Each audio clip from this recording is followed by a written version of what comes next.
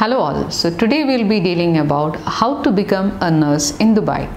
Now what are the process or what are the pro- um, important topics that you need to cover in case of a DHA exam. Now to become a nurse in Dubai, you need 2 years of experience after your general nursing and midwifery course or your BSc course and yes MSc. Now recently DHA has updated their site and uh, we have new process. In this at present you can check your eligibility whether you are eligible to write the exam by answering certain questions and you can straight away write the exam.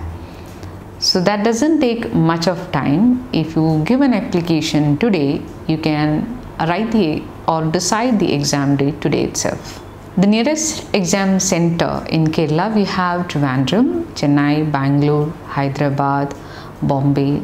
So metro cities has all the centers. So once you take the exam date, you have to book the exam and write the exam. Simultaneously, you can even start your data flow process. Now, data flow means a verification of the certificate for which you will need to submit your 10th certificate. You will need to submit your 12th standard, your passport copy, your degree, diploma, or master's convocation certificate. You have to submit your transcript, mark list, registration, and the experience. Data flow is a verification process who will be checking the credibility of the institution or the experience. They will be checking the institution, they'll be checking the experience, uh, whether the certificate that you have given is truthful or not. And once the report is ready and everything is correct, you can apply for your eligibility letter along with your good standing certificate, which you get from the council as well as your BLS. When you apply for a job in Dubai, see that you apply with your resume, your eligibility letter, and the data flow report. And the hospital that is selected you will be activating your license. Now, how to prepare for the DHA exam?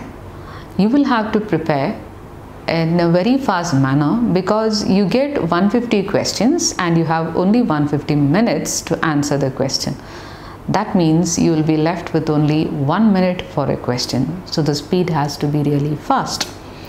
Now at present they are getting picture questions of ECG.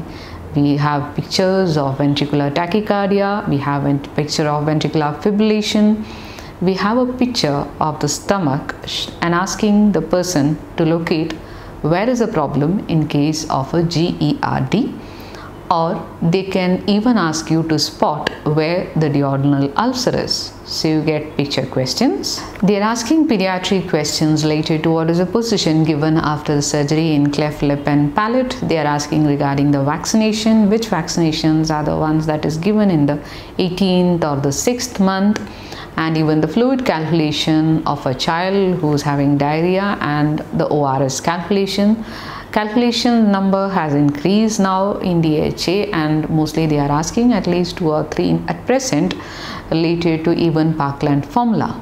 Nursing management questions or management related to certain disease conditions are also increased. For example, like sickle cell disease or in like management of a client with amputation and in um, maternity they too are asking regarding the number of antenatal visits or the postpartum period or even the case of the complication of clomiphene citrate. So drugs are also being asked now. So remember to have a thorough knowledge of the topics. Your by hearting is not going to work. Think about the situation and uh, check the questions. There might be certain keywords which help you to answer the question and identify those keywords. And some are really lengthy questions but the thing is that the question might be straight. Only thing is that you need to identify what the question is asking you and eliminate the wrong answer and then you come to the correct answer.